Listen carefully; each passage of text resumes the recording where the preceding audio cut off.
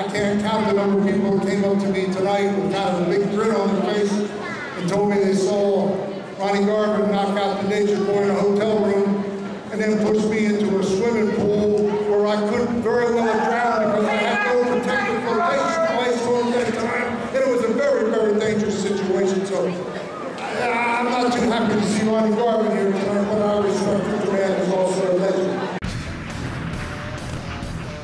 Ring the bell.